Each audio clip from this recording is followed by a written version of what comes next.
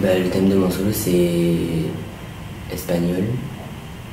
Euh, mon premier championnat du monde, bah, ça représente beaucoup, puisque bah, c'est un peu rêve de tout le monde, enfin de tout Turin. Et euh, du coup, bah, c'est. C'est la. Je sais pas comment dire. Ça représente un peu tout depuis le. Euh, ben, une semaine du départ, je me sens à la fois stressé, parce que c'est mon premier, je sais pas comment ça va se passer, et content aussi parce que j'ai hâte d'y être. DJ c'est tout, parce que c'est grâce à lui que je suis là. C'est grâce à lui que je vais là-bas. C'est lui qui me donne tout pour y arriver. Il me donne tout, il me donne, euh, ben, tous les outils pour y arriver à mes objectifs.